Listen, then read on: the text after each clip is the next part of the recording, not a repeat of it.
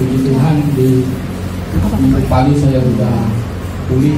Lanjut terus di Jepang saya Sekarang nol lagi. gitu. pagi-pagi sempat lari 6 km keliling rumah. Ya puji Tuhan. Cuma sekarang ya masih ada suka keringetan aja. Jadi ngacung-ngacung didoakan oleh Tuhan. Sama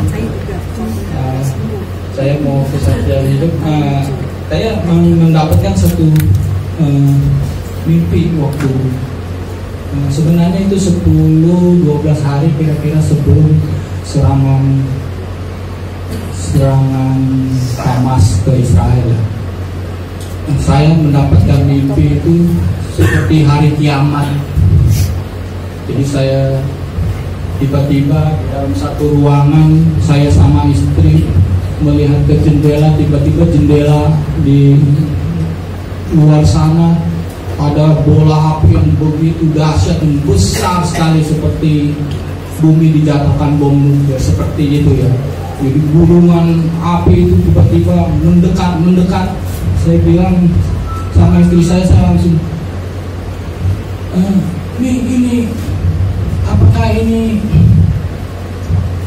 mau hancur kita ini kan kita harus udah mau kiamat ini gitu. jadi saya sampai berdoa Tuhan kalau memang sampai udah ini tiba waktunya tiba saatnya Tuhan selamatkan jiwa kami terima kami di sisimu Tuhan jadi penglihatan itu kiamat itu terjadi. Dan saya berdoa begitu kencang kepada Tuhan. Dan tiba-tiba sampai saya kebangun nah, istri saya sami saya bilang ini saya mimpi hari sudah kiamat. Terus tiba-tiba bola itu datang-datang itu kita udah tinggal menunggu detik-detik bola itu akan menghampiri kita dan membumi hanguskan saya dan istri Ya, tinggal berapa detik lagi Bus, gitu. tapi kita meremata tinggal tunggu aja itu. Tapi kok nggak terjadi? Tadi waduh akhirnya saya terbangun dalam mimpi itu saya lihat keluar jendela saya lihat waduh udah bumi hangus semua di di depan pikir kok kita nggak kena ya gitu ya. Terus tiba-tiba saya mulai melihat rintihan-rintihan orang yang ada beberapa satu dua yang selamat beberapa tiba-tiba muncul lagi muncul lagi sana. Ada yang diselamatkan dan mereka tiba-tiba saling bahu membahu untuk saling membantu menolong. Udah tiba-tiba saya terbangun di situ. Jadi saya bilang ada apa ini? Gitu kan. Nah ternyata 10 hari kemudian terjadi Hamas itu kan menyerang Israel itu begitu luar biasa itu sampai baik pun katanya maaf dipenggal luar biasa itu ISIS itu luar biasa terus sampai sekarang ini kita tahu pembalasan Israel juga luar biasa. Ya kan? kita tidak melihat siapa pun tapi kan kita prihatin terhadap kejadian yang terjadi. Nah itulah saya menurut jadi saya punya pikiran mungkin kita ini sudah di penghujung zaman kita harus berjaga-jaga masing-masing kita waktunya sudah dekat. Saya rasa waktunya itu sudah dekat. Nggak lama saya juga dengar di YouTube uh, ibu-ibu pendoa mereka sampai kesaksian mereka bilang uh, kuda merah dengan kuda hijau ini sudah dilepaskan. Itu terdapat dalam Wahyu 6 katanya. saya bacakan di Wahyu 6 dan ketika anak domba itu membuka matra yang kedua aku mendengar makhluk yang kedua berkata mari dan majulah seekor kuda lain. Seekor kuda merah padam dan orang menungganginya dikaruniakan kuasa untuk mengambil damai sejahtera dari atas bumi. Sehingga mereka saling membunuh dan kepadanya dikaruniakan sebelah pedang sebelah pedang yang besar. Lalu di ayat yang ke-8 dan aku melihat sesungguhnya ada seekor kuda kuda hijau kuning dan orang yang menungganginya bernama maut dan kerajaan maut mengikutinya dan kepada mereka diberikan kuasa atas seperempat dari bumi ini untuk membunuh dengan pedang dan dengan kelaparan dan sampah dan dengan binatang-binatang buas yang di bumi. Jadi terkonfirmasi dan terjadi kan pembunuhan ternyata kan Israel begitu membaru juga membunuh begitu banyak jiwa. Yang kita harus berjaga-jaga kita tidak di di dalam ini kita harus minta hikmat Tuhan. Dan kita terus mau berjaga-jaga saya uh, mau angkat satu lagu kita sama-sama nyanyikan. Zaman sekarang berjalan. Kita harus tekun terus ikut Tuhan ikut mendekat kepadanya. Dunia tidak semakin baik. Hari-hari ke depan dunia tidak semakin baik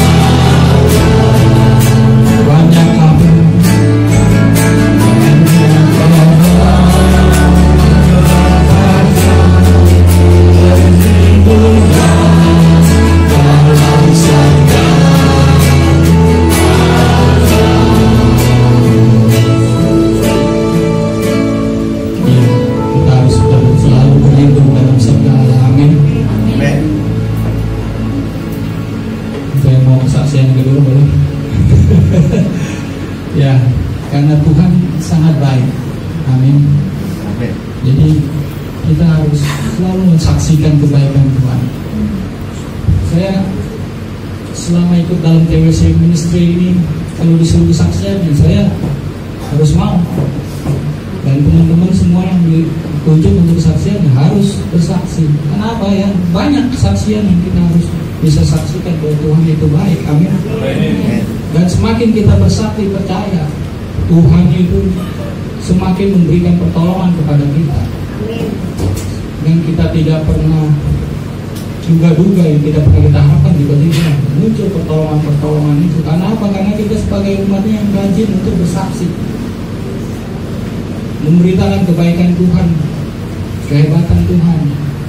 Dan ya Bapak pasti yang di sana sangat senang sekali loh anak saya berpendidikan tidak segan-segan dia akan menolong. Selalu tangan yang selalu menolong.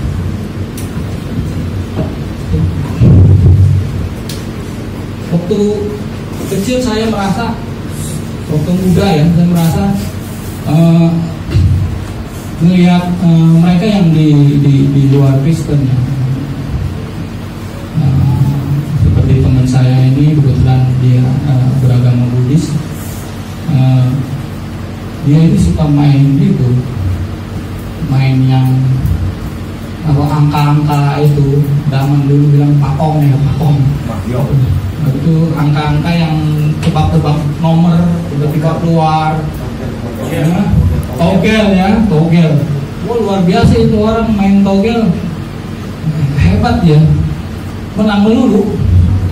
Sampai bisa beli mobil sampai bisa beli properti loh bisa sampai beli rumah saya bilang luar biasa ya. Sih dia selalu cerita sama saya kalau saya berjalan sama dia naik mobil dia cerita itu dari togel. Saya mah dapat bisa beli ini beli itu. Dia bilang luar biasa saya bilang. Tapi kan saya bilang sama dia kalau saya enggak tuh kalau saya benar-benar diproses sama Tuhan. Ya boro-boro kita diberikan satu kemudahan yang tiba-tiba dapat undian berhadiah dapat yang tiba-tiba dari langit nyampe ke kita langsung saya bilang saya nggak pernah tuh sedikit setitik pun dikasih itu sama Tuhan begitu begitu. Karena apa ya? Saya percaya Tuhan itu kalau dia mengasihi kita dia akan memproses kita. Tidak akan semudah itu semua akan diberikan begitu mudah bagi anak-anak. Siapa yang kukasihi dia akan kuhajar. Tuhan bilang begitu jadi saya bilang ya, boro-boro saya. Saya harus keingat sampai ke pantat-pantat baru saya dapat duit saya bilang. Kok kamu enak banget sih? Ya tapi saya nggak iri. Ya. ya, karena kita tahu kualitasnya itu seperti apa orang yang memiliki kualitas yang selalu mendapat undian-undian begitu kan? Sampai bisa beli rumah bisa beli mobil. Iri nggak kan teman-teman bapak-bapak ibu-ibu ya kan? Diri juga ya. Tapi ya saya percaya Tuhan kita lebih dasar. Tuhan kita akan proses kita dari nol. Semua akan kita diproses dari nol. Saya sampai uh, pada waktu belum lulus kuliah pun saya udah diproses sama Tuhan sampai dari nol gitu. Karena orang tua papa mama kena cancer dua-duanya. Pertama papa saya kena cancer duluan.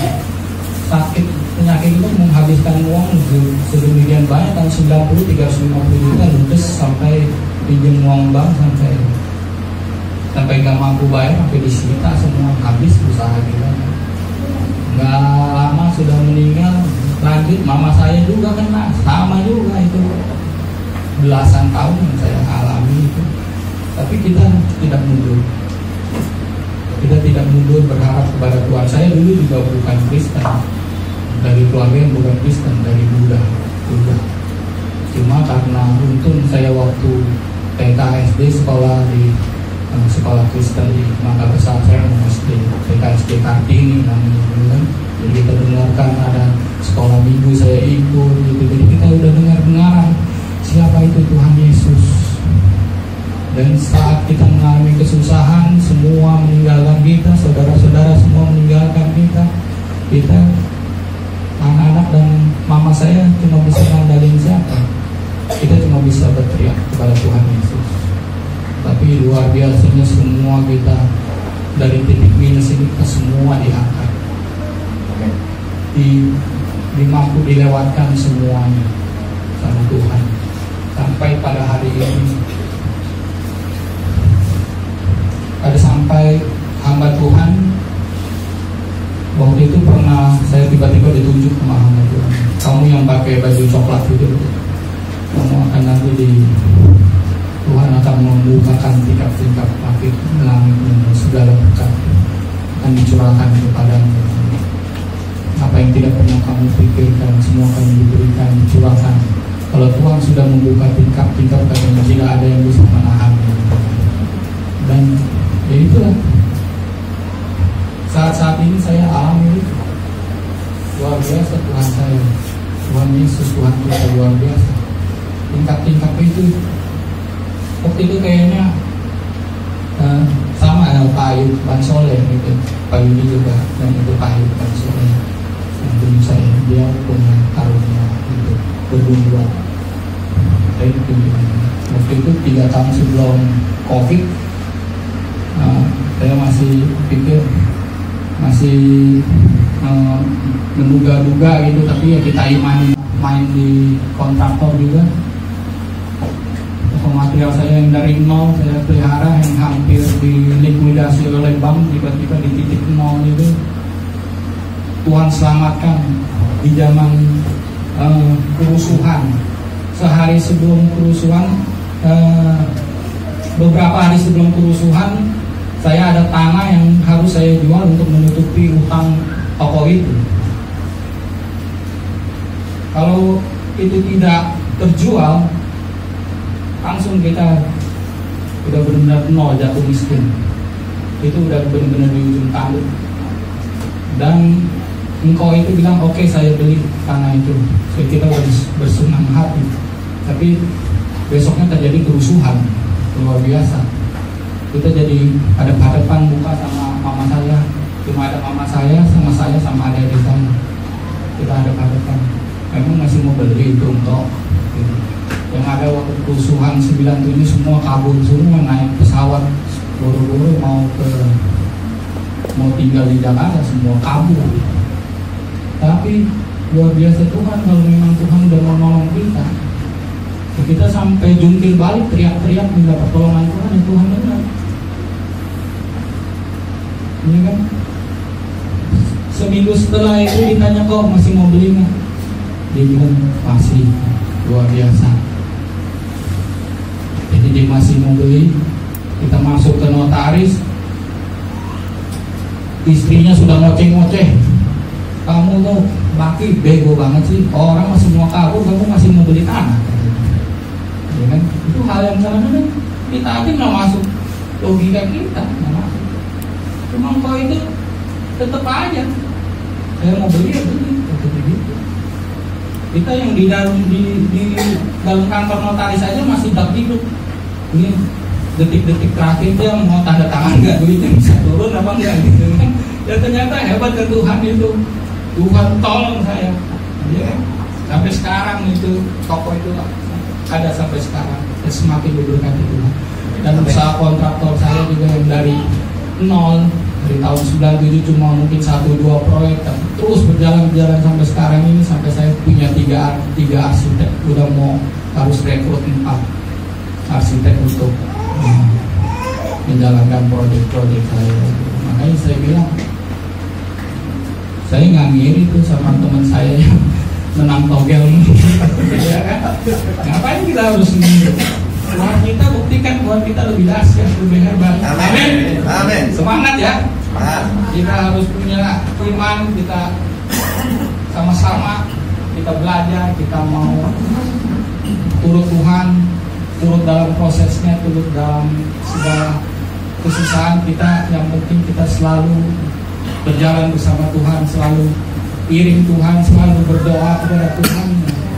Dan bonusnya bukan bonusnya lagi, yang luar biasanya lagi Tuhan telah sediakan rumah bagi kita di surga nanti. Amin. Amin. Ya, baik. Kita